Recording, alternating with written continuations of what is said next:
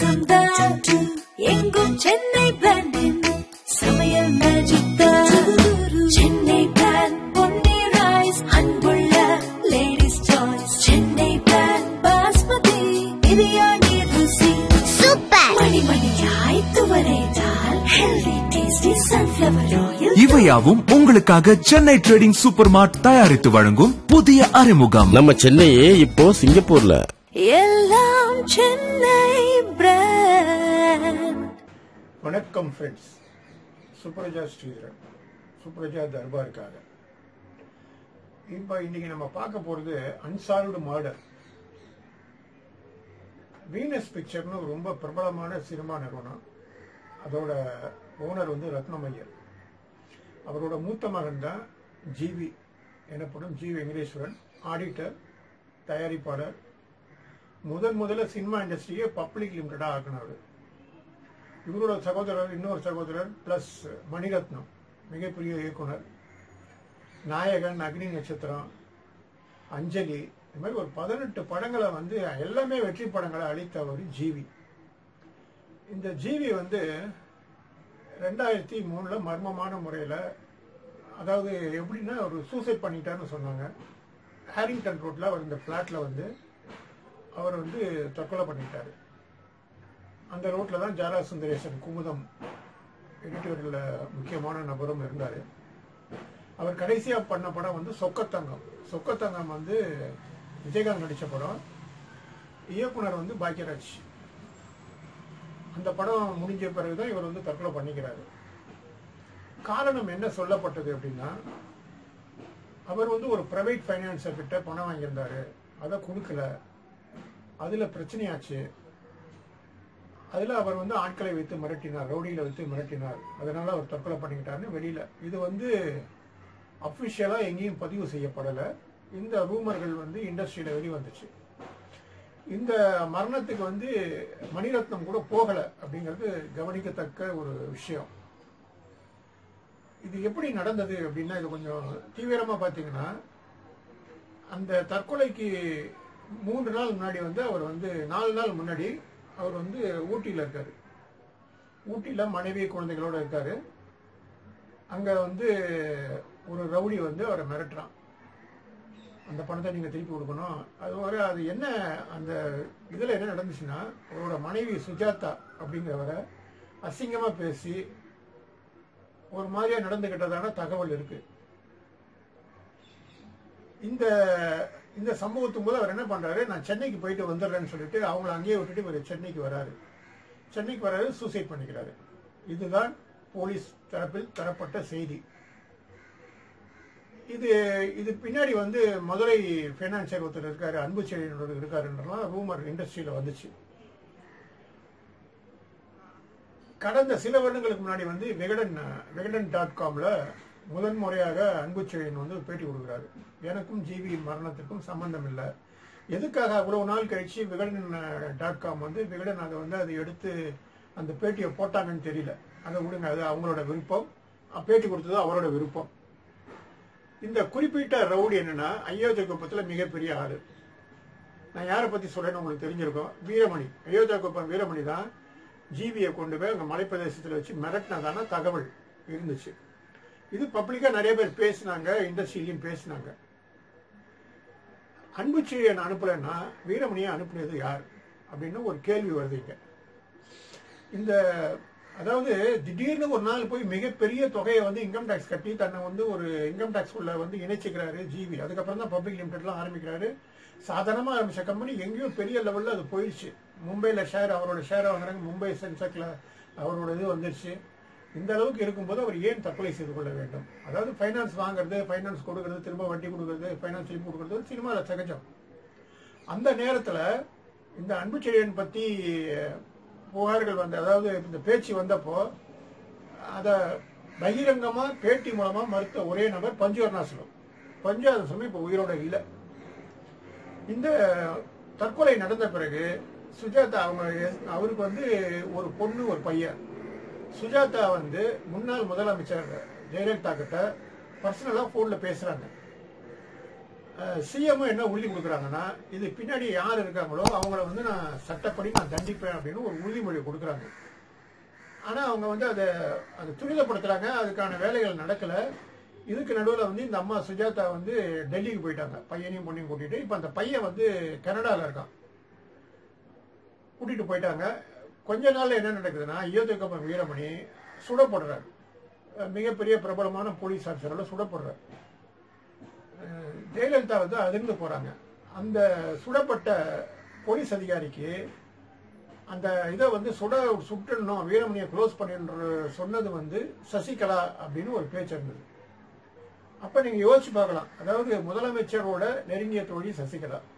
முதலமைச்சர் சுஜாதா கிட்ட என்ன சொல்றாங்கன்னா போன்ல இதை வந்து நான் தீவிரப்படுத்தி உண்மையான குற்றவாளி யாருன்னு கண்டுபிடிக்கிறேன். நான் வெளியில கொண்டு வரேன்றாங்க. இந்த நேரத்தில் சில நாட்களில் வந்து அவங்க சுடப்படுறாரு வீரமணி. இப்போ நீங்க இதை லிங்க் பண்ணி பாத்தீங்கன்னா ஏதோ ஒரு தொடர்பு இங்க இருக்கிற மாதிரி உங்களுக்கு தோணும். உண்மையிலே நடந்தது என்ன அப்படின்னு பாத்தீங்கன்னா ஜிவி வந்து பல ஃபைனான்சர்கிட்ட பணம் வாங்கியிருக்காரு. அது கொடுத்துட்டு வராரு. அதாவது பப்ளிக் லிமிடெட் ஆன பிறகும் சினிமாவில் வந்து மிகப்பெரிய பட்ஜெட்ல படம் எடுத்தவரில் ஒரு ஒருத்தர். அந்த காலத்திலேயே எடுத்தவர் சிடி ரைட்ஸ் வீடியோ ரைட்ஸ் அவரை நான் அவரோட அலுவலகத்தில் ஆளுநர்பட்ட அலுவலகத்தில் இரண்டு முறை நான் சந்தித்திருக்கிறேன். ஒன்று என்னோட கதையை சொல்ல சந்தித்தேன். இன்னொன்று வந்து ஒரு வேற ஒரு நபருக்கு உதவிக்காக கூட்டு போய் அறிமுகப்படுத்தினேன். அவர் அந்த உதவியை செஞ்சார். அதாவது ஒரு கல்லூரி மாணவனுக்கு அதாவது ஒரு இந்த மாணவன் பின் தாழ்த்தப்பட்ட மாணவனுக்கு ஃபீஸ் கட்டினார். அது ஒரு பக்கம் இருக்கட்டும். இது அவர் வாங்கிட்டு இருக்காரு. அவர் எல்லார்கிட்டையுமே ஃபைனான்ஸ் வாங்கியிருக்காரு. எல்லாருக்கும் திருப்பி கொடுத்துட்டு இருக்காரு. இது வந்து இப்போ போலீஸ் வந்து இதை எப்படி இந்த ஃபைலை க்ளோஸ் பண்ணாங்கன்னா அன்சால்ட் மர்டர் அவர் சூசைட் பண்ணிட்டார் அவ்வளோதான் சொல்லி அது மன உளைச்சலில் சூசைட் பண்ணிட்டாரு.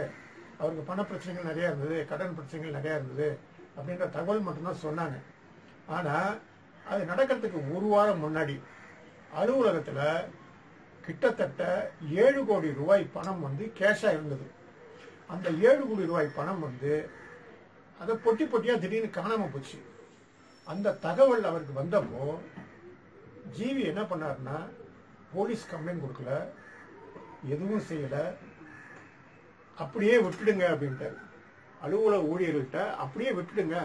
நம்ம யாரையும் தனித்தனியாக போய் விசாரணை பண்ணி போலீஸ் போய் இதை வந்து நம்மளை நாமளே அசிங்கப்படுத்திக்க வேண்டாம் அப்படின்ற சொன்னார்னு ஒரு தகவல் இருக்கு. இதை வந்து போலீஸ் விசாரிச்சாங்களா என்னன்னு தெரியல. அந்த ஏழு கோடி ரூபாய் எங்கே போச்சு? யார் யார் அந்த ஏழு கோடி ரூபாய் எடுத்துகிட்டு போனாங்க அப்படின்றது இன்னி வரைக்கும் தீர்க்கப்படாத ஒரு அன்சால்வ்டு மேட்டராக இருக்கு. அவரோட மர்மம் மரணமும் மர்மமாச்சு. சூசைடும் மர்மமாச்சு. இந்த ஏழு கோடி ரூபாய் அலுவலகத்திலிருந்து காணாமல் போனதும் மர்மமாச்சு. இதுக்கு நடுவில் தான் அவர் வந்து இங்கே தற்கொலை பண்ணிக்கிறாரு. தற்கொலை பண்ணிக்கிட்டாருன்னா அவராக தற்கொலை பண்ணிக்கிட்டாரா? இல்லை வேற யாராவது பக்கத்தில் இருந்து அவரை தற்கொலைக்கு தூண்டுனாங்களா? தற்கொலைக்கு மிரட்டுனாங்களா? அப்படிங்கிற தகவல் எதுவுமே இல்லை. வழக்கமாகவே தமிழ்நாட்டிலையும் சரி இந்தியாலையும் சரி பல நகரங்களில் பல தொழிலதிபர்கள் தற்கொலை பண்ணிக்கிறாங்க. நீங்க கொஞ்ச நாள் முன்னாடி பாத்தீங்கன்னா காஃபி டே ஓனர் தற்கொலை பண்ணிக்கிட்டாரு. மிகப்பெரிய நிறுவனம் கொடி கட்டி வளர்ந்த நிறுவனம் லட்சக்கணக்கான சொத்து கோடிக்கணக்கான பல கோடி சொத்துக்கள் அந்த காஃபி டே ஓனருக்கு இருந்தது. ஏன் தற்கொலை பண்ணிக்கிட்டாருன்னு இன்னும் மர்மமா இருக்கு. அதுல வந்து நடிகை காஜல் சம்பந்தப்பட்டிருக்காருன்னு சொன்னாங்க. அதுவும் அப்படியே மூடப்பட்டது. அந்த கேஸும் மூடப்பட்டது. இங்க தமிழ்நாட்டை இந்தியாவை பொறுத்த வரைக்கும் என்னன்னா நிறைய கொலைகள் தற்கொலையாக மாற்றப்படுகின்றன என்பதுதான் உண்மை. இந்த ஜிவி விஷயத்தில் இதுதான் நடந்திருக்கும்னு நான் கணிக்கிறேன். ஏன்னா தற்கொலை பண்ணிக்கிற அளவுக்கு அவர் கோழையான மனிதர் அல்ல. ஏன்னா நான் அவர்கிட்ட ரெண்டு முறை பேசினப்போ அவரோட கான்ஃபிடென்ஸ் கான்ஃபிடென்ஸ் எனக்கு நல்லா தெரிஞ்சது. ஏன்னா இந்த இண்டஸ்ட்ரியில் வந்து ஒரு புதுசாக ஒரு வராரு தம்பிக்காக படம் எடுக்கிறாரு அதுக்கப்புறம் நிறைய வெற்றி படங்களை கொடுக்குறாரு பப்ளிக் லிமிடெட் ஆக்குறாரு. இந்த அளவுக்கு அது அவர் பிறந்த தேதி வந்து பதிமூணு. பதிமூணுன்றது வந்து சூப்பர் நம்பர் அந்த நம்பரில் பிறந்தவங்க தற்கொலை பண்ணிக்கிறதுக்கான வாய்ப்பு இல்லை. கணித ரீதியாக நியூமராலஜிகள் எப்படி பார்த்தாக்க சைண்ட சைக்கிக் நியூமராலஜி பார்த்தா தொக்கலை பண்ணக்கூடிய மனிதர் அல்ல. ஸோ இது ஒரு மிகப்பெரிய மர்மம் இந்த கொலையில் இருக்குன்னு நான் நினைக்கிறேன்.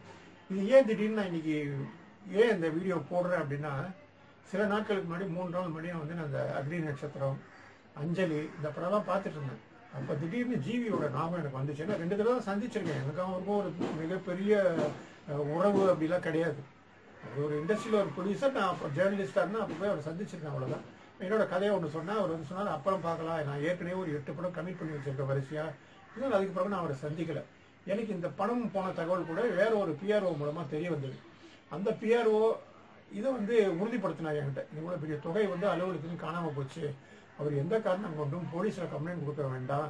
இதை நம்ம நாமளே விசாரிச்சு அசிங்கப்படுத்திக்க வேண்டாம்னு விட்டுட்டாரு அப்படின்னாங்க.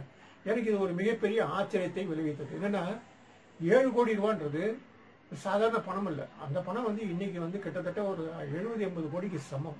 அவர் தற்கொலை பண்ணிட்டு அந்த நேரத்தில் வந்து ஒரு பதினஞ்சு நாள் முன்னாடி பத்து பதினஞ்சு நாள் முன்னாடி அது காணாம போன அலுவலகத்துலேருந்து காணாம போன பணம் வந்து இன்னைக்கு வந்து நூறு கோடிகளுக்கு சமம். எப்படி அவர் அதை விட்டார்? அதுக்கு அதோட பின்னணி மர்மம் என்ன? இதெல்லாம் பார்த்தாக்கா இது ஒரு பெரிய கிரைம் நாவலுக்கான சப்ஜெக்ட் ஒரு மிகப்பெரிய படத்துக்கான சப்ஜெக்ட் மணிரத்னம் போகலை டெத்துக்கு போகலை. விஜயகாந்த் போனார் ஆனந்தராஜ் போனார். முக்கியமான லேபிள் போனாங்க. நான் வீட்டுக்குள்ளே போகல வெளியில் இருந்து அந்த வீட்டை பார்த்தேன் அவ்வளோதான் ஏன்னா நம்ம இவரு ஜெராஸ் நிரசனை பார்த்துட்டு அங்கே போய் நின்று ஏன்னா நிறைய விஐபிகள் வருவாங்க. எனக்கு வந்து அங்கே உள்ளே போய் க- கலந்துக்க விருப்பம் இல்லை. வெளியிலேருந்தே பார்த்துட்டு வந்துட்டேன். இந்த மர்மம் வந்து பல பாடங்களை நமக்கு சொல்லித் என்னென்னா என்னன்னா பிளாக் மணி அப்படிங்கிற ஒரு விஷயம் பார்த்தீங்களா பிளாக் மணின்ற விஷயம் வந்து அதுக்கு உருவம் உண்டு. அது வளரும். குட்டி போடும். அதுக்கு வட்டி குட்டி போடும்.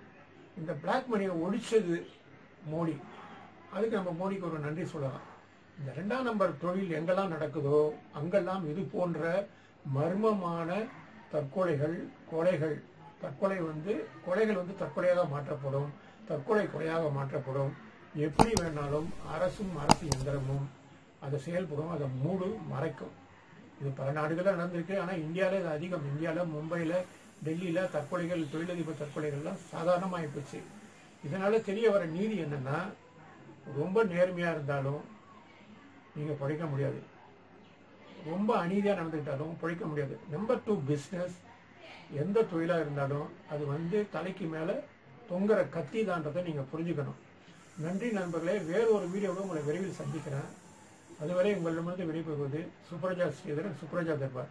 இந்த சேனலை பார்க்குறவங்க இந்த விஷயத்தை ஷேர் பண்ணுங்கள் லைக் பண்ணுங்கள் இல்லை டிஸ்லைக் பண்ணுங்கள் உங்களோட நண்பரோட பகிர்ந்துக்கங்க. இந்த சேனலுக்கு சப்ஸ்கிரைப் பண்ணுங்கள் மிக்க நன்றி. வணக்கம்.